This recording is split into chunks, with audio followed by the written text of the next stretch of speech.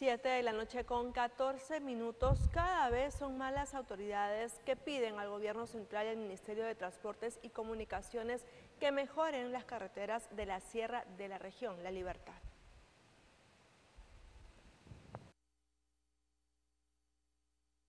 La carretera de penetración a la provincia de Patás es una vía nacional, ¿no? Este maldito tilde que dice vía nacional nos impide a los gobiernos locales a intervenirlo, a, comprometer presupuesto. Envió este mensaje a la presidenta de la República, Dina Boluarte, con la finalidad de que la jefa de Estado priorice el mejoramiento de las carreteras en el distrito de Parcoy, que pertenece a la provincia de Patás, en la Sierra de la Libertad. Porque lamentablemente, pues, como todos los alcaldes dicen, no, yo no puedo meter acá un volquete, no puedo acá operar porque me voy a la cárcel. Estoy haciendo un trabajo ajeno, estoy malversando los fondos de la municipalidad. ¿Cuál sería su mensaje para el Ministerio de Transportes y Comunicaciones?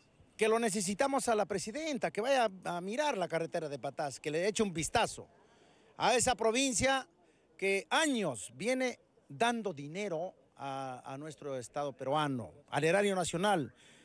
El alcalde de Parcoy, Alfredo Uriol, se sumó al pedido de diferentes autoridades de Patás y otras provincias de la Sierra de la Libertad para mejorar y asfaltar gran parte de las carreteras, que son competencia del gobierno nacional a través del Ministerio de Transportes y Comunicaciones. A nivel de la provincia no es solamente SMH, Consorcio y Marsa, sino también tenemos Santa Bárbara, una empresa minera que está también ya fuera de la jurisdicción de Parcoy, que está en Buldibullo, tenemos Carabelí, que está en Guaylillas, en el distrito de Guaylillas, Coriguaira, que está en la zona sur, en el distrito de Tayabamba. Entonces, haciendo la suma de todas las empresas que operan formalmente, todas estas empresas hacen un óvulo que aportan al erario nacional. Pero ¿qué pasa? Que este aporte no vuelve traducido en, un resultado beneficioso para nuestra provincia. Alfredo Uriol informó que son 615 kilómetros de carretera que deben ser intervenidos.